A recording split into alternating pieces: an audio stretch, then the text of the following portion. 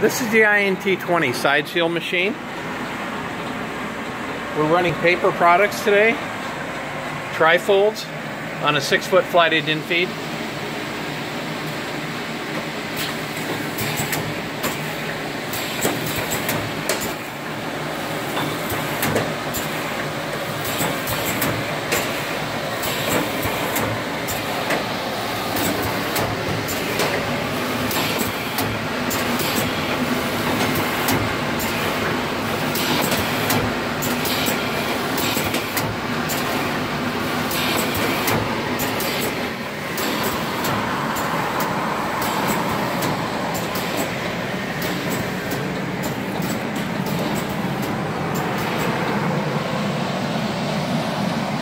You can see it does a great job.